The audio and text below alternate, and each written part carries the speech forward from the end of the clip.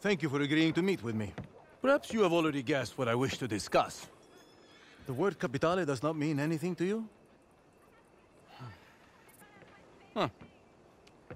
For some time now, the organization that I represent has been using a unique system of exchange for our more sensitive business dealings. This we call capitale. Private bonds with their value guaranteed by the reputation and considerable resources of my employer. It's a more uh, civilized way of doing things.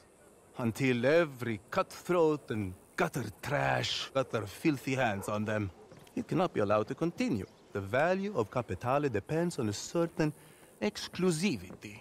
Understand? Come. I don't know how much you have heard of our ambitious new senator, Anton Ricard. He's an officious, naive man who has yet to learn how politics work. About his grand plans to make Lemoyne the star of the next year's state fair in Sacramento. He has also been making life very difficult for us. Come on. Ah, excuse me for a moment. Oh, forgive me, Signor. I thought we'd be meeting alone. Who is this? He was just arrested by one of my men in the old quarter. I thought you might be interested to see what they found in his possession. How did you come by this? You stole it, yes? No, no. Please, Senor. Senor Martelli. Do not speak my name, porco! I found it. I swear to you, I On did. your knees. I did. I found it. I did. On your knees! I swear to you. No, no, please. I, Where did you steal it? I, I promise you that I didn't steal. I will ask you only one more time. Where did you steal it? From some of the Cornwall's boys. Le Leviticus Cornwall.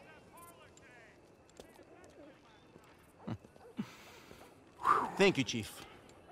I trust this man will face the full penalty of the law. Most assuredly, Signor. Good. Proceed. Was there, uh, anything else? No, I think that was enough, don't you? Yes, sir. So, to my proposition. You will find builds like that one as far from here as New Austin, if you know where to look. I need every piece of capitale taken out of circulation and returned to me. I warn you, some of this work will require a strong constitution. In return, I will reward you with a unique business opportunity involving our friend, Senator Ricard. But that is for later. I wish to see the quality of your work before I reveal my hand. I'm sure you understand. Now, it is best we do not meet again. All further communication will be through my intermediaries. Some of them are friends of yours already. I believe Mr. Foreman, Mr. Langton. In any case, bring them enough capitale to impress me, and I assure you it will be worth your while. Now, if you excuse me, buona caccia.